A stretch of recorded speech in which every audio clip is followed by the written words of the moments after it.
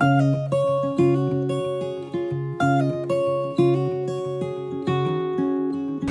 we're gonna go on one of these boats up to Greenwich. They don't know which one. Don't even have a ticket yet. But we'll make it eventually. We've been on the eye before. That's not on our agenda list for this trip. Buying the tickets. Greenwich. All right, down the pier we go. Boarding point B. Uh, about ready to get on, we actually are on the tour boat. Actually, just a boat. It's to take us straight up to Greenwich.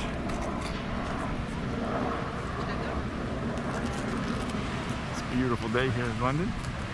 Could be the last of our beautiful days, but we're going to take advantage of it, make the most of it. Be nice. won over £10,000 making it look like a steam train emerging from a tunnel. I've been looking at it for a few years now. After Nelson defeated the Yeah. French Yeah. at the Battle of the River Nile. A cannabis. Paul. She's basically a drinking club for retired sea captains. Behind the Wellington there's a stone archway with the face of Father Thames, and that's Temple Stairs Arch. That's the boundary marker for the city of Westminster, where we're about to leave, and the city of London, where we're about to enter. Now the city of London is the smallest capital city in the world. It's only one square miles. Six chimneys, that's Waterguard House. It's home to Majesty's Customs and Excise. Now they tell us that any illegal contraband that's seized at the border is taken to that building to be incinerated.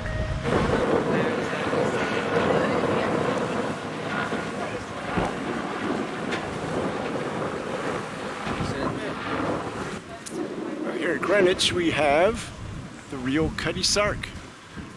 They're uh, doing some renovations on the hull right now, and uh, you can actually go in here and uh, go underneath the hull and take a tour of the of the ship. But uh, I don't think we're going to do that. I don't think we have enough time to do that today. But uh, looks uh, looks quite interesting. Go right through there. Fi 15 pounds for an adult. Well, before we go up to the observatory, we're going to walk right through uh, center of Greenwich. And uh, of course, Lisa wants to go through the market. That's okay. Town and then to the market. Yeah. So uh, we're going to go through the market and then through town. Whatever. Wow, it's cute. Man, I'm sorry I ate breakfast. I'm hungry.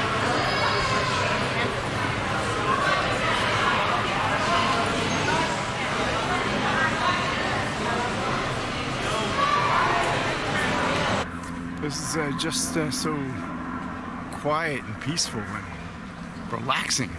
My gosh. Not what I was expecting. Of course, I don't know what I was expecting, but uh, certainly not this. All right, we made it up the hill to the Royal Observatory, Greenwich. Now, just to find the prime meridian in good shape. Wow, this is uh, quite a nice view uh, this look. Uh, this is Canary Canary Wharf uh, over in the distance, and uh, looking down to the Royal Maritime Museum down here, and I'm sure we can see Greater London way off in the distance here. Oh, nice. Yeah, yeah. So there we can see Greater London way off in the distance. You got the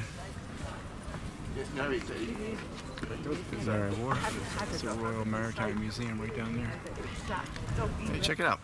It's the home of space and time and the world famous Meridian Line. Hey, they made a little joke. Here we are, right on the Greenwich Meridian. Ooh, taking a big shadow here. I'm not sure I can do this. Three. Bed. Here it is. Greenwich Prime Meridian. And this tells you how far east and west all of these capitals are.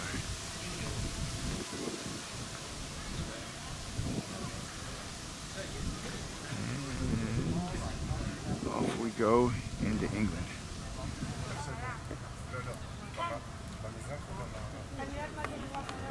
It's the Great Equatorial Telescope.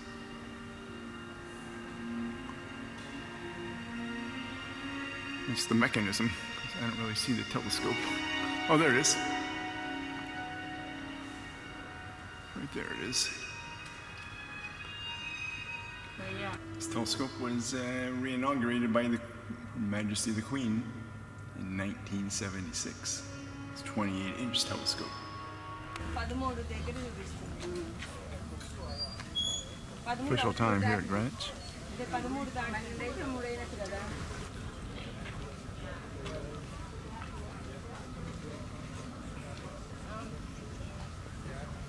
Next stop today is the National Maritime Museum. Come in, nice little entryway here. And I can see a ship in a bottle in the distance. I can't wait to see that thing up close. Sorry about that. There you can see it. Zooming in here. Message in a bottle. And here it is up close. The ship in a bottle.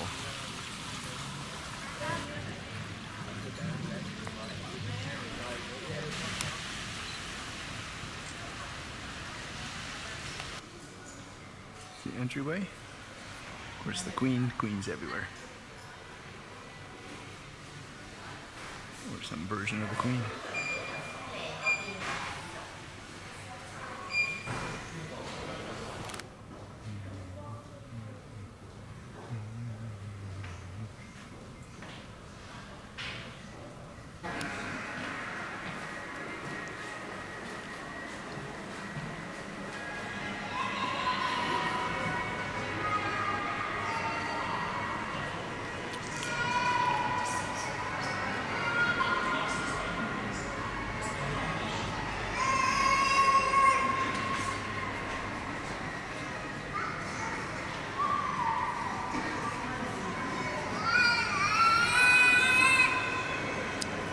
It's Prince Frederick's barge. Who knew?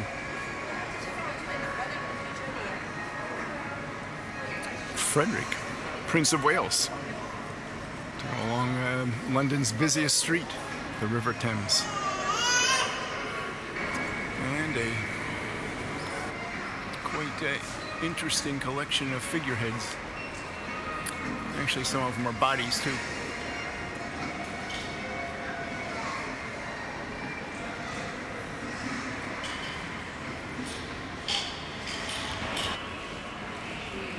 Must be a racing boat here. Miss Britain, the third.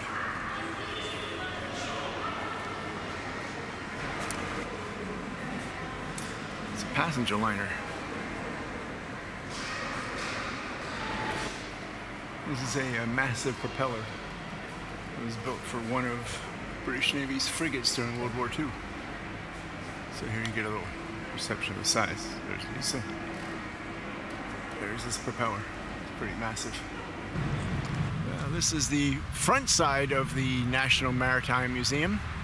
The thing is huge. We barely scratched the surface, but uh, the museum in Greenwich beat us because our legs are beat today, and uh, beat My uh, feet, my legs, whatever. so we are uh, about ready to take an Uber boat home. We'll show you the Uber boat, which uh, be uh, interesting for most people who only know of Uber cars. And now we're in the courtyard of the Royal Naval College.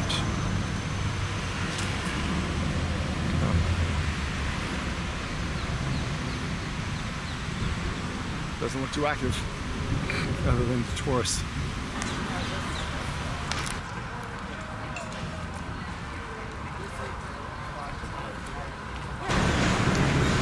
Here it is, boat. Going to take us into central London now.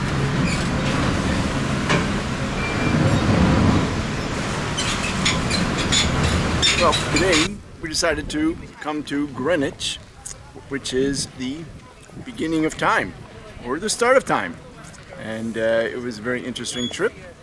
We uh, take, we took the bus, took the tube, and then we took a a uh, boat uh, from, um, from down- Westminster Pier. thank you from Westminster Pier here to Greenwich, and then We climbed up a long hill. climbed up a hill, and uh, got here to the observatory, and uh, it was uh, it was quite interesting. We found out that there over a period of time, there's been multiple meridians that have sort of switched uh, switched positions about 100 100 yards here, uh, based on the accuracy and the telescopes that the people use to uh, uh, measure measure the stars and and uh, and everything. But uh, it was uh, it was it was quite nice. We stood in the, the uh, western hemisphere and the eastern hemisphere simultaneously, so that's always a, uh, a bucket list to do thing.